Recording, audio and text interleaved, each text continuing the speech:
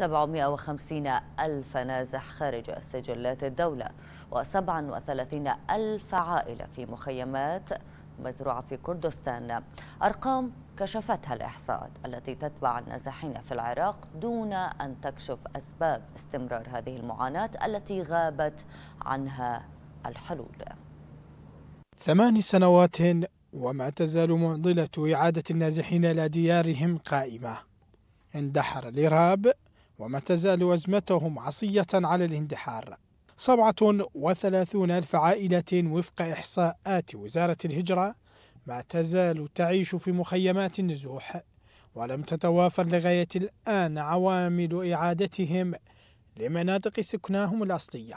إحصاءات وزارة الهجرة لم تأخذ النازحين ممن يسكنون خارج المخيمات بالحسبان والذي تقدره تقارير أممية بسبعمائة وخمسين ألف نازح لم تستطع السجلات الحكومية تقييدهم وهو ما يصعب مهمة التعامل مع هذا الملف الحساس إذ تقتصر التقارير الحكومية على 28 مخيما في إقليم كردستان تثار حولها الاستفهامات إذ تستعصي على الجهات ذات العلاقة إعادتهم مرة تحت ذريعة رفض الأهالي العودة لمناطقهم ومرة بحجة وجود مؤشرات أمنية ومرة تكون الأسباب غير مقنعة.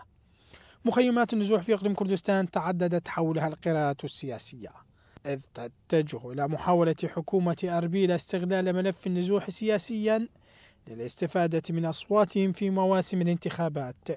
ومرة تكون الحاجة لهم على مستوى الملف الاقتصادي إذ يعد النازحون وفق أحزاب معارضة مصدر دخل قيم وغني بالنسبة لخزانة أربيل. العوامل السياسية والأمنية التي تحيط بمن يقطنون مخيمات كردستان للنازحين ما تزال مبهمة وغامضة. في وقت تكثف الحكومة جهدها لتوفير الأرضية الاقتصادية والأمنية لإعادتهم إلى مناطقهم وإنهاء معاناتهم مع النزوح.